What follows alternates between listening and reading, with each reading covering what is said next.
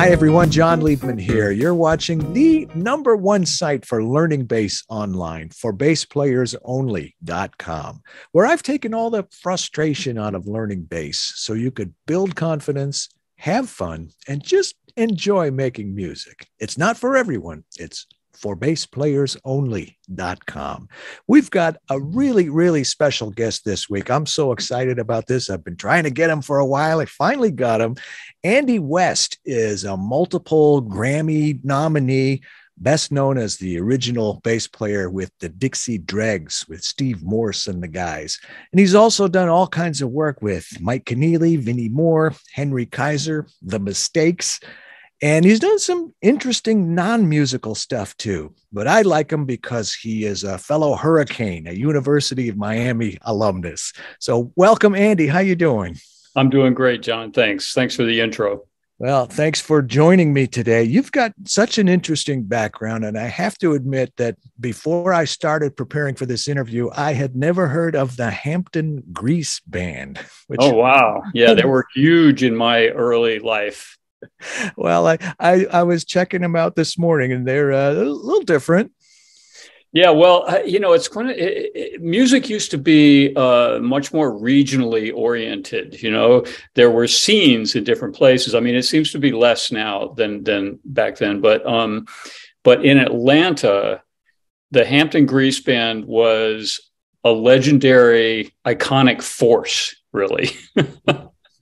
and uh, you know, I mean, I could go on for a long time about them, but for those who have never heard it, you can look it up, and and you'll find people um, like Jimmy Herring and Bruce Hampton, the Aquarium Rescue Unit. I mean, he Bruce Hampton of the Hampton Grease Band was kind of like the Miles Davis of Atlanta. He really, you know, brought a lot of people to the forefront. Incredible musicians. Oteil Burbridge played with him for many years. Really? Yeah, and and and Hampton himself is was very um, just a really interesting guy. But anyhow, this is this is kind of a divergence. I would say please look him up if you're interested in in you know odd historical music and and all the musicians that are in that tree are usually fantastic. Yeah, it's it's interesting because I, I grew up outside Detroit, and for the longest time, Bob Seger was only known to us around here before he uh, hit a yeah. national international scene. I mentioned Maynard Ferguson once to my mother, who grew up in Canada. She says Maynard Ferguson. She said she she lived in someplace near Crystal Beach, which is somewhere in Ontario. She said he had a a dance band there or something. She said he was nothing. He was just like a local guy, Maynard. Oh, Oh yeah, that's funny. but uh, so I, I, I want to talk to you about some of the really cool stuff you're doing now, but I I'd like to go back if you don't mind to the early days. You mentioned you're sure. from Georgia. Tell me about your musical upbringing. Did you come from a musical family? Parents, records playing, brothers and sisters. You know, what were you initially exposed to musically? you know it's it's a it's a typical tale in a way. Um, didn't have any music in my family.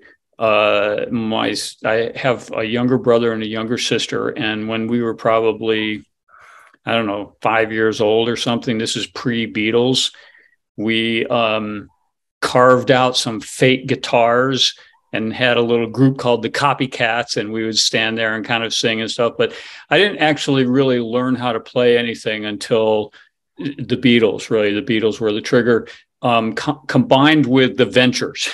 so I discovered the Ventures and the Beatles roughly around the same time.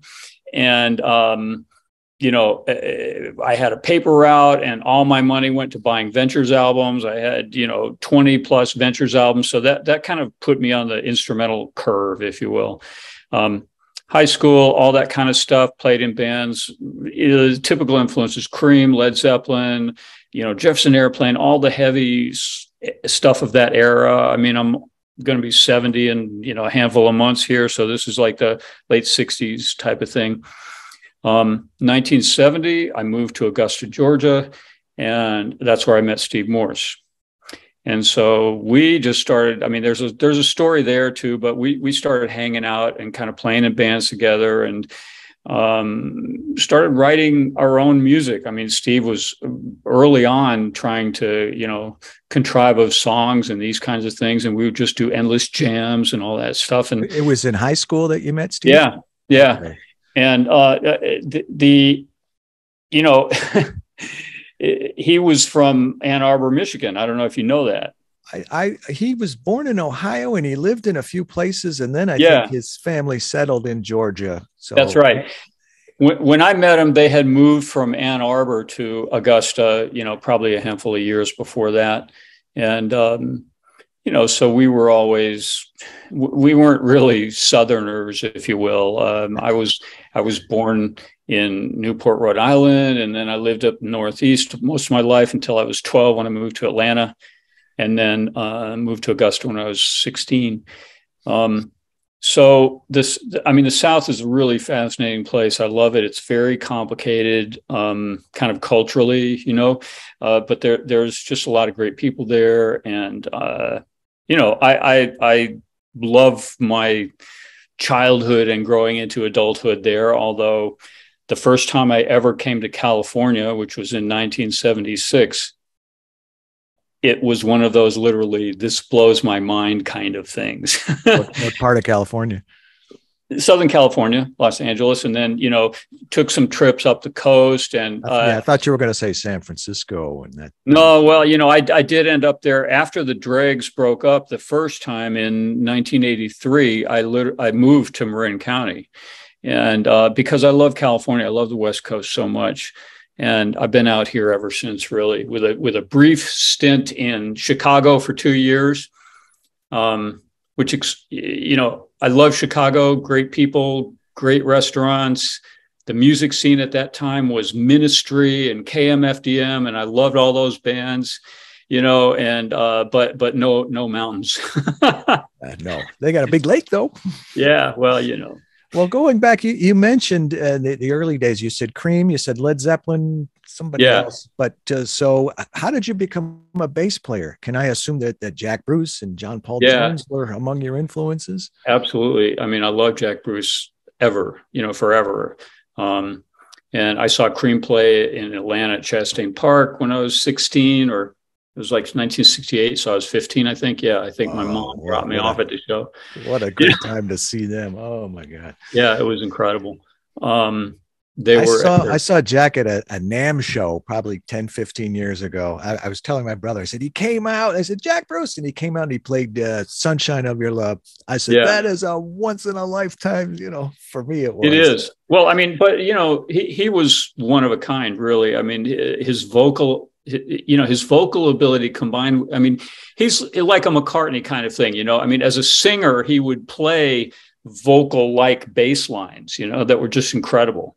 Yeah. and so you know I, I i mean i can't those were my influences in the sense of i love that music you know? Okay so did you become a bass player because of those guys or did you discover those guys because you were already yeah, I discovered those guys. I mean, I started playing guitar. I think uh, I, you know, when I was like 11, and um, then you know we found some guys to start trying to have a band. You know, after I knew how to play a few notes, you know, no music schooling or anything at that point. Um, and we didn't have a bass player, and I think two strings broke off my guitar, and I tried bass, and then it was like, oh, let me get a bass. You know, that's funny. So, yeah. All right. So you and Steve were both down in Miami at the same time.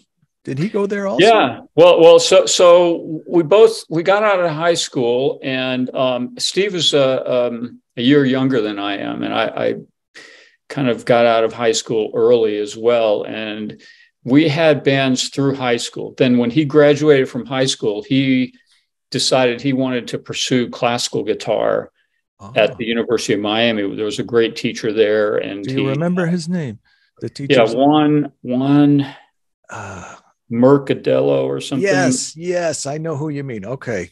I forget his last name, honestly. This is weird. Yeah. Well, anyhow, m- maybe it'll come to me. But um, but Steve went to U of M, and I stayed around. I went to uh, University of Georgia in Atlanta, and we still communicated like by literally mail. yeah, there's no no Facebook or texting in those days. Yeah, and that's where he met Rod and Alan, the drummer and violinist that ultimately became in the band. And um, you know, Steve came back to Augusta for a year to go to college, And while we were there together, he was like, we got to go down to Miami. There's such incredible musicians there. And so I got into the U of M at that point, and we both went down there. And um, I was, I had actually, in the meantime, I'd kind of learned how to play cello. And so I was studying cello in, in college. Um, but I, I, I it, it, it, didn't stick. I mean, I, I worked really hard at it and I could kind of saw away at it, but, um, but you know, the bass was my thing really. So when you guys were down in Miami, I was trying to figure out the the generation of was that when when Mark Egan and Will Lee and, and, and Danny Gottlieb was Jaco there at that time? He was yeah, there for yeah, a minute, yeah. I, th- I think a semester or something. No, it was crazy. I mean, the level of talent was astonishing, you know. Um, and Jaco was playing in these little clubs around town, and this yeah. this guy took me to see him, and, and so we we knew all those guys. Pat Metheny, you know, he was like twenty. Yeah. you know, and and um, then you know his first gig out of college was with Gary Burton, you know, and and so they were. It, it was a weird time. I mean, it was really kind of incredible. Um, the the uh, there was just a lot of energy around it. You know, Miami at that time was on the tail end of the old days. You know, it was kind of decrepit actually and but there were gigs there there were guys in in school who would play at places like the Fontainebleau you know and they'd go in and they'd play old was, tunes for old me. people you know that was me yeah I yeah and they oh yeah well you went to u of m you said you know so you know about it okay yeah uh, i played um, with patty andrews from the andrews sisters and and jerry yeah. vale and and donald o'connor and eddie fisher and uh, yeah ink exactly. spots and, yeah, exactly so uh, you know and then i mean you go there now and it's like you know it's mind blowing. Um, you, you, know, I kind of don't want to be there now. You know, it's it's it's culturally a very weird thing to me, but um, you know, the whole it's just I don't know. I, I won't go off on it, but Miami, it's an incredible place, incredible energy. Coral Gables, you know, where the U of M was or is. It is. Yeah. Um, you know, had a, I had a lot of interesting experience there. Well, anyhow, Steve and Rod um, we're going to, and Alan, we're all going to graduate U of M at roughly the same time. Alan and Steve graduated at the same time, and then Rod was going to graduate three months later. So when Alan and Steve graduated, we all decided that we would have a band and we'd move back to Augusta and start there. And so Rod was, um, he had three more months to go in his, you know, college and so we had another drummer who joined us from Miami and for three months and played that? with us. God, I forgot his name. This is oh. embarrassing. I'm sorry, I didn't. yeah, uh, I, I, mean, I can see his face and everything. Uh, but but what's really interesting about that is we asked Danny Gottlieb if he would do it because Danny was graduating, and Danny was like, "Oh man, I, you know, I'd really love to do it, but I got this gig with you know somebody like Bobby Rydell or some, you know, somebody old like that, you know, but yeah. he had a gig, you know, a paying gig. And we were like, yeah, we're going to, we're, we're going to make it, man, you know, but we don't have any gigs, you know, yeah, kind of thing. And Danny is so, he's so great. I mean, I've seen him probably once every 10 years or something, but you know, he always mentions, yeah. man, I still regret that I didn't go play with you guys for that yeah. summer, you know? And it's kind of imagine anybody not liking Danny Gottlieb. He's just such such a great guy. No, he's a great guy and he's a great musician. You know, yeah, really, yeah. really amazing. I, I love talking about Miami. I was down there when I was in school. It was the Miami Sound Machine guys and uh, Jon Secada. He was Juan Secada when I knew him, and Andy Timmons was down there at the. Time. Oh time. yeah, Andy's incredible, isn't he? Yeah, yeah. We we I keep mean, in touch also. Yeah, I uh, I mean I met him probably 10 years ago through Mike Keneally, I think. And um, you know, we, we just hit it off. I mean, I, I, I haven't talked to him for a number of years, but but he's one of those guys I just feel super comfortable with, and his musicianship is just incredible, you know. Yeah. And he talks about it. And did you did you was Randall Dollahan the teacher there? Yes. Oh yeah, the guitar yeah. teacher. Yeah, Randall played with us too. Really? Yeah, he was in the band when we didn't have a key. We had two guitars and violin and drums, and me. wow.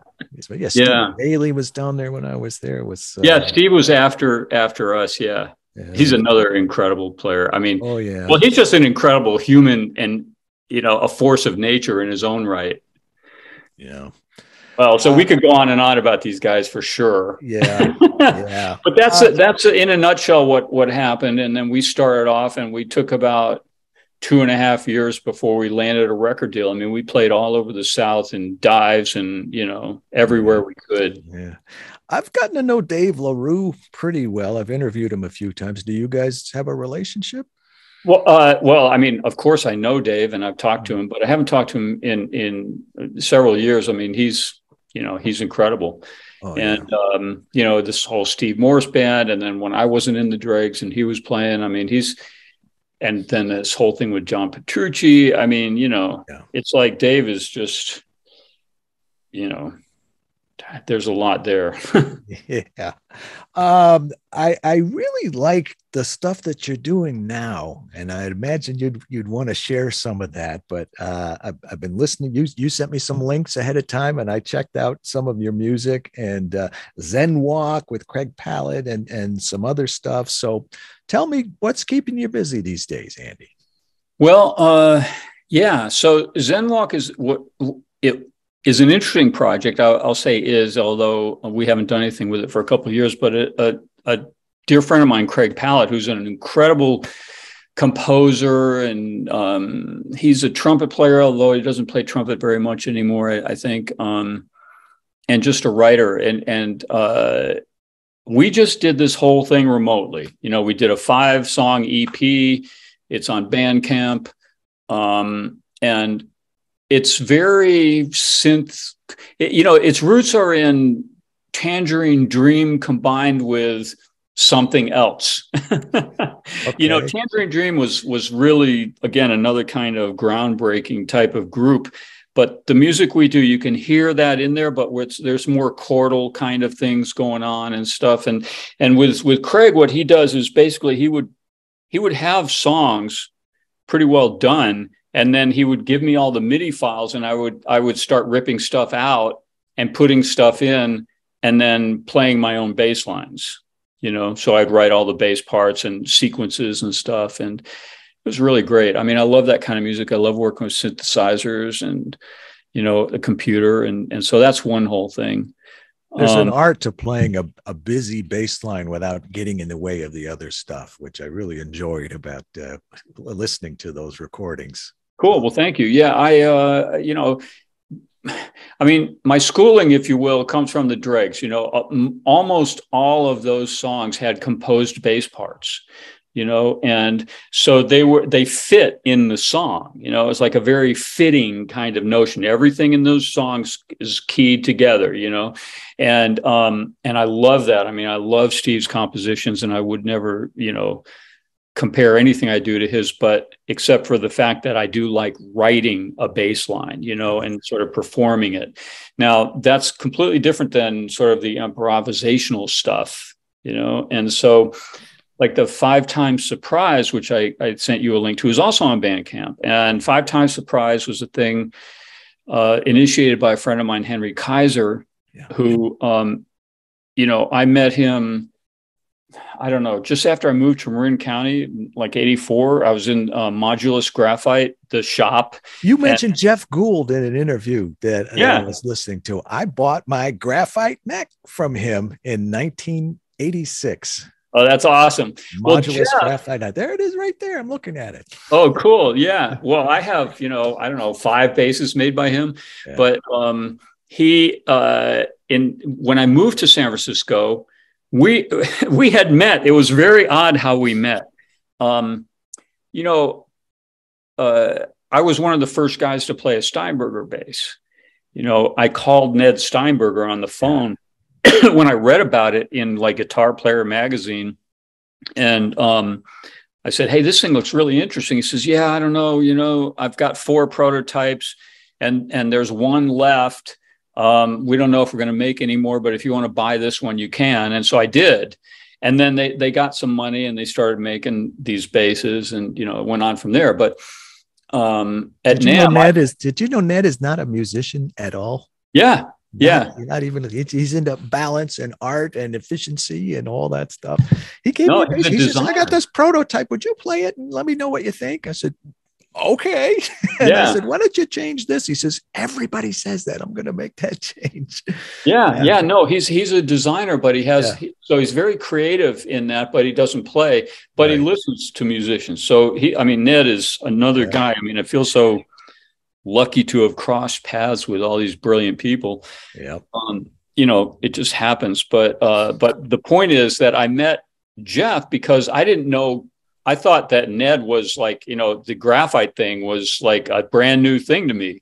And then I was at NAMM and I saw Jeff's booth and I was like, Jeff, uh, you know, this graphite stuff is incredible. Do you know Ned Steinberg? He says, Yeah, I know him. and and they, you know, at the time there was a question about is there a patent thing going on here, you know, that needs to be resolved? And th- th- it, it turns out that Jeff's graphite is is very it's a particular process that's pure graphite cooked in the ovens and this kind of stuff. And Ned's graphite at the time was more of a composite type of thing, you know, with fiberglass and different different materials in there. Um, so they they were they were a little bit different, but that's kind of how I met Jeff. And then this is the long way of saying how I met Henry because I was at the Modulus store in San Francisco, and Henry walks in and and and Jeff says, "Oh, this is Henry. You you guys should meet and talk to each other." And so we did and hit it off. And you know, we've been playing in bands off and on and projects ever since, which leads me to Five Times Surprise, um, which has Jeff Sipe, Anthony Pirog, and Tracy Silverman, as well as myself and Henry. Now, if you don't know any of those guys, they're all you know phenomenal players. And and uh, Jeff was in the Jimmy Herring band, which toured with McLaughlin on his last tour. Uh, but he also has a long history with Jonas Hellborg and Shawn Lane, if you know that group. Um, yeah, I know incredible. Jonas very well. Yeah, Jonas is a, the monster. You know, um, I played his bass one time. It weighs like 40 pounds. It was Really? Warwick uh, factory and showroom in, in Markneukirchen, Germany. I'm like, how Yeah. do you, I can't even last one tune on this. How are you going to play a whole gig? you know, I, I I love his playing so much though because he he he's a very. I, I mean, I kind of distinguish between. I mean, there's classifications, right? Jonas is one of these improvis improvising melodic bass players. I mean, he obviously has all the rhythmic stuff, right? But but his melodies and the things that he comes up with are just really unique, you know, to me. And it's and it's not all just percussive, you know. Yeah. And so percussive is a whole different realm, you know, percussive bass playing. But but the five times surprise, the way we did it, very different than what we did with uh, Craig and myself, where we started with song forms and then, you know, kind of composed them together.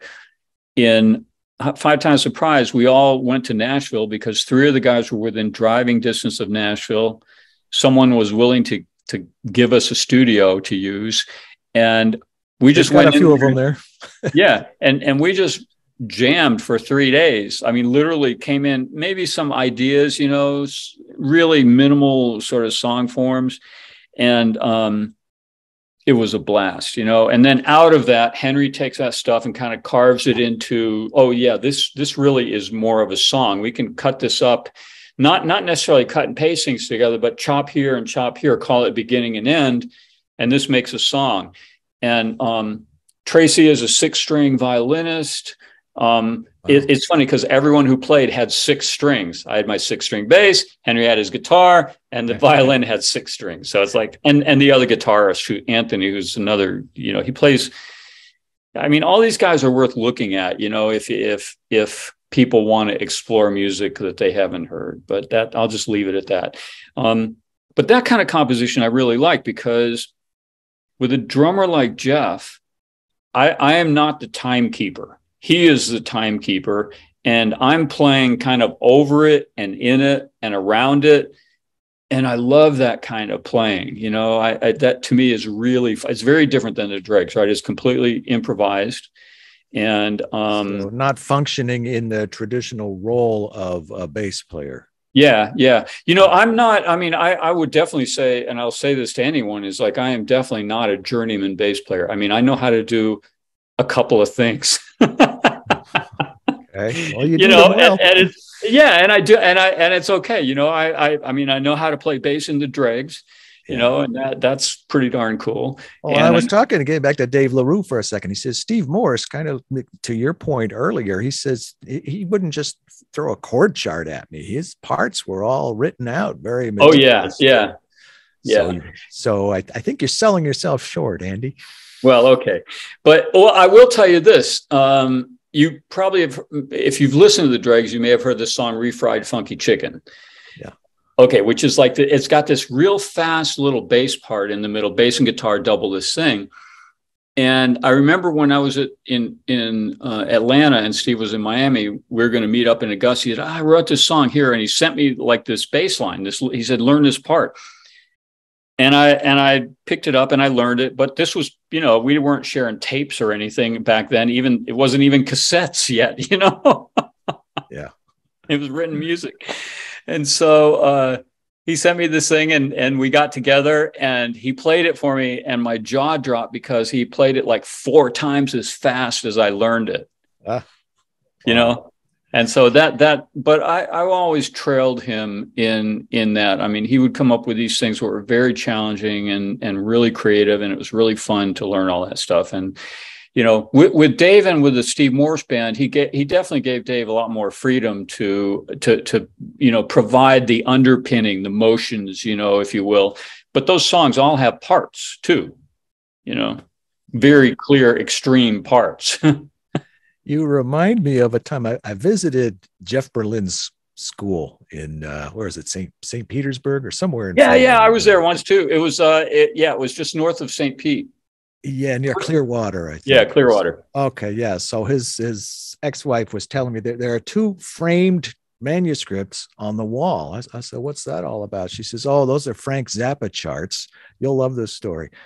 He gave Frank Zappa gave Jeff Berlin a part to learn for a recording. And Jeff just killed himself. He shredded it. He learned it. He had it down. He went into the studio. Zappa says, okay, let's go. And they start playing. And Zappa says to Jeff, what are you doing? He says, well, I'm, I'm playing the music. You gave me the music and here it is. He says, let me see that.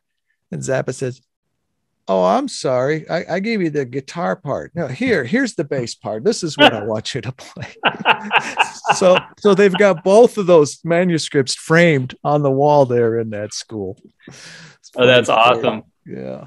For bass players only, I've got just about 800 interviews right now, one every single week since June 15th, 2009. I've never missed. That's impressive. Sometimes I've had two or even three a week because there were just so many.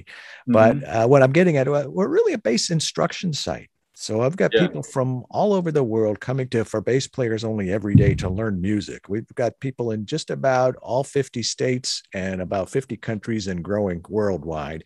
And I noticed that more and more of them tend to be men in their 50s, 60s, 70s a lot of times they have arthritis, tendonitis, and, and I was fooling around with a, another tagline. Uh, I, you know, I say the number one site for learning bass online. I take the frustration out, all the stuff that I said at the beginning, and that I'll say at the end. But I'm kind of fooling around with you can learn bass despite sore muscles, creaky bones, and getting older because that yeah. is a lot of who I am attracting. And my groove grower framework, the system I have for learning bass, just plays into that beautifully. We do get a fair bit of women too. It's not all men, but a lot of people, uh, 50s, 60s, 70s. I had somebody I talked to the other day said, I'm going to be 76 in a few months. He's been with me for years.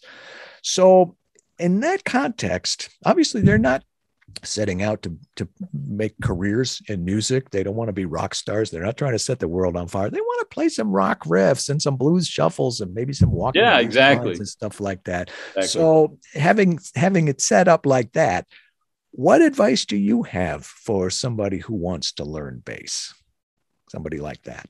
Well, um, I, I think it's it's important to just play. You know, I, I mean the the to me, it's never been that hard to figure out how to do things. In other words, some people go really extreme with like, oh, you know, your hands need to be in this position exactly. And and you know, when I look at any number of dozens and dozens of incredible players, I will see a wide variation in approaches to the bass. Oh, yeah. You know, and so it's kind of like whatever works for you. But the main thing is just doing it you know? And and uh, even now my hands do hurt if i play too long but i and i and i can't tell if it's like you know incoming arthritis or i just haven't built up my strength for these you know super fast things or whatever. Um, you know but i kind of don't worry about it because uh, it's like if something hurts stop doing it and make sure that you put in the time to to learn stuff. And and there's one other thing which i didn't have when i i, I didn't pay attention to when i was really young and i still feel i'm developing that. And and that is just you know hearing right? Hearing music and um you know identifying chords and those kinds of things. What's cool about older people do approaching this is that they they remember something often that they don't have now you know or they remember a feeling about music or they think about music in a particular way and so um you know, this is just a long philosophical rant in a way, but uh, but it's really, I think, about just picking up your instrument and trying to play along with something. And one of the real challenges for people uh, is young or old is finding other people to play with. And now that's something that that has kind of disappeared or or become even more difficult. But because we have these other tools, it's not like you're just on a desert island by yourself. You can still learn. You can still learn how to improvise over a four chord pattern with your computer playing the music. Yeah. you know, which is it's that's so awesome. There are any number of directions you can go, but again, I will maintain that just putting in the time is the most important thing. Tell me about your gear. I saw a, a, video clip of you. It looked like you were playing an alembic bass. Is that your main thing, or is that? Well, uh, no. So the bass. Okay, so um, I played alembic from really early on. I mean, when uh, I think I got my first alembic in '74, and it was one of these kind of things where I read about the bass just like I did with Steinberger like six years later. Mm-hmm. But I read about the bass and guitar player, and um, there was a dealer in Charlotte, and basically I had a two hundred dollar car and a two thousand dollar bass. Yep. You know, because I just I, I played this bass and I was just like, oh my god! So I played the alembic for the entire time through the dregs. Um, I've had uh, I had one bass which was my original bass, and then I I think over time I've had two other alembics. So, but then when I was in California, after you know realizing that I wasn't going to be uh, again a journeyman musician, I sold those basses to to get money.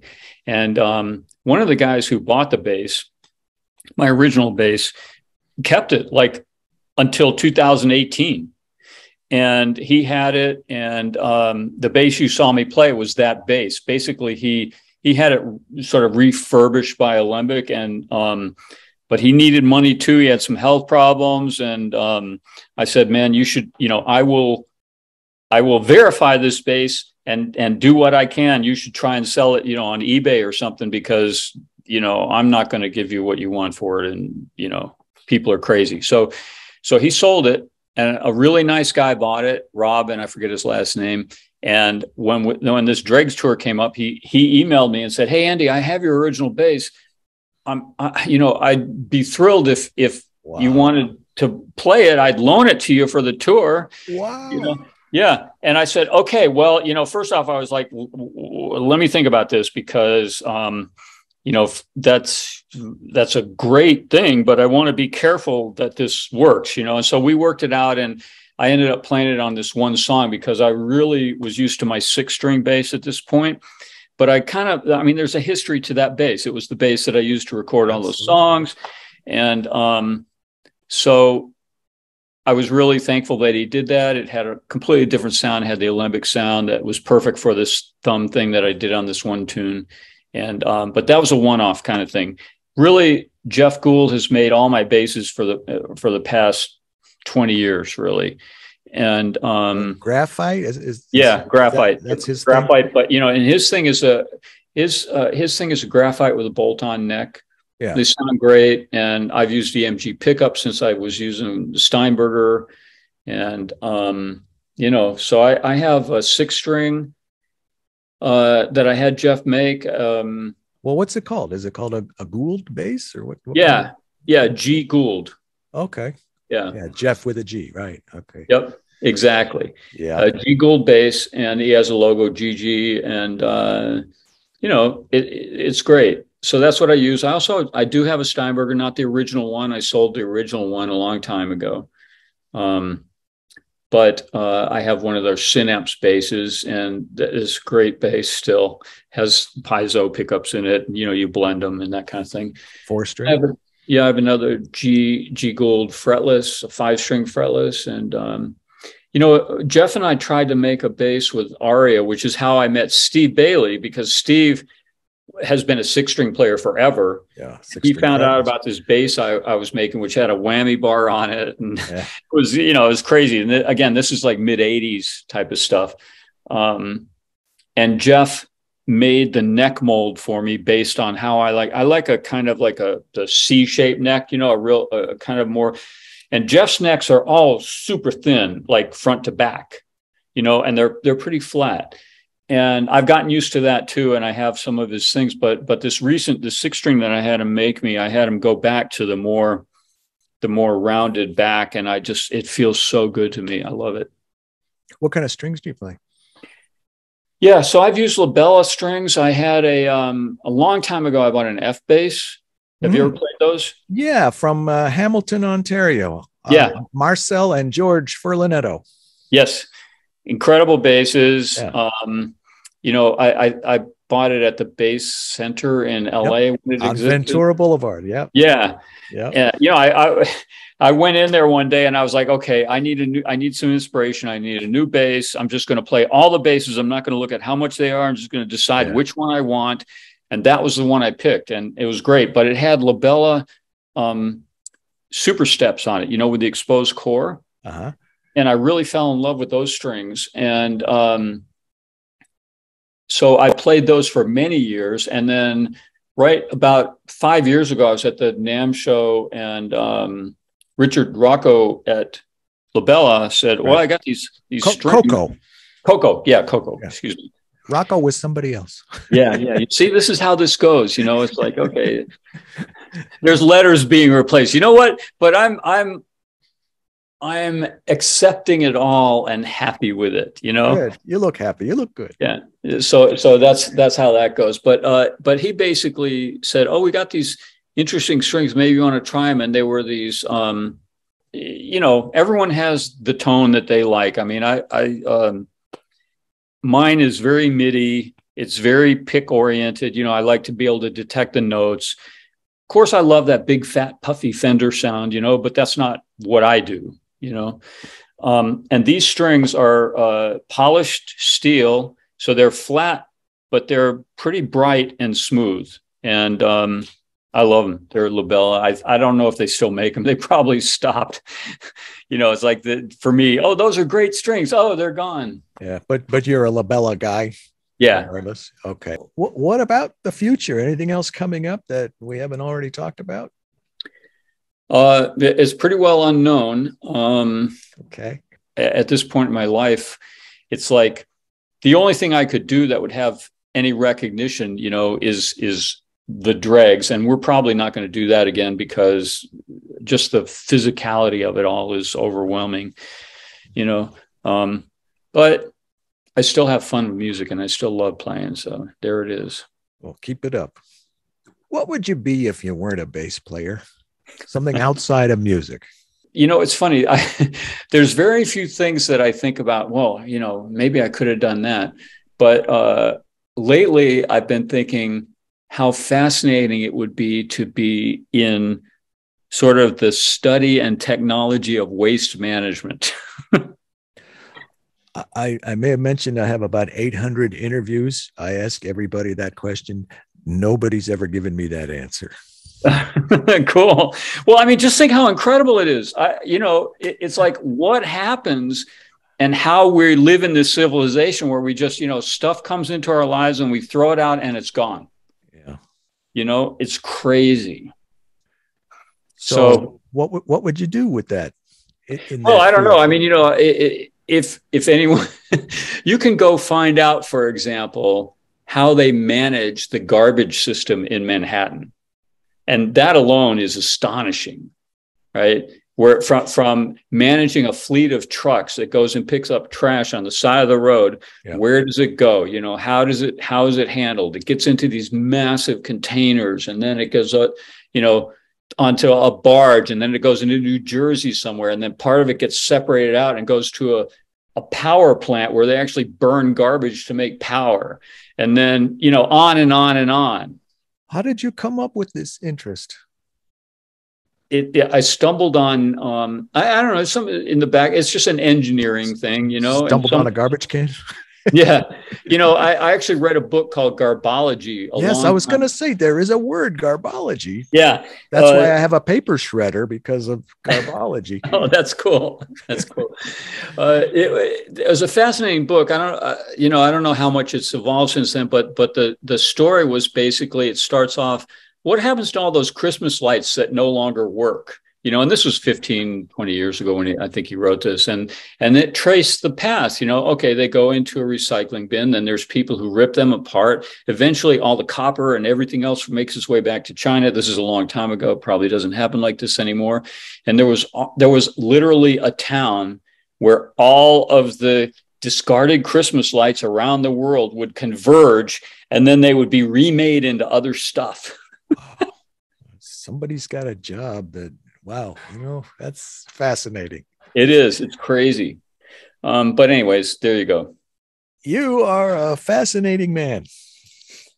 Sometimes things comes up, come things come up in these interviews that I never ever talking to Billy Sheehan and he brings up Jackie Gleason and we're I mean who you know, that's not what I thought we were going to be talking about. Or these heavy metal guys who said, "Yeah, I like Ray Brown and Jimmy Blank." Yeah, yeah. Well, this has been great. I really am so happy that we got together. I thank you so much. Keep doing what you're doing, and uh, boy, thanks for all those great recordings uh, the dregs and everything else that you've done. And we will keep an eye out for anything else that you're coming. You've got hundreds of unfinished products. So, uh, yeah. uh, songs, so projects, I should have yeah, said. exactly. So, All right, well, wanna, thanks, Jon. I want to wrap it up here, but which tag should I use? Should I use the one about uh, how I've taken all the frustration out of playing bass, or should I use the one about the sore bones and the the uh, the, the sore muscles and the creaky bones? or I, I could do both of them and let the people who are watching this uh, comment below which one you like better. But first of all, do you have a, a preference? No, you know, um, I, I, I appreciate the service. Um, you know, people, when they need those things, they can find them with you, which is great. Well, thank you. Well, this is the first time I've ever started with one tag and ended with another one. So here goes. Thanks to our special guest, Andy West. I'm Jon Liebman. You're watching for bassplayersonly.com, where you can learn bass despite sore muscles, creaky bones, or getting older. It's not for everyone. It's for bassplayersonly.com not a bass player? Come on in, we'll make you a bass player. Thanks again, Andy West. Thanks to all of you for watching. I'm Jon Liebman. We'll see you all next week. Let's play bass.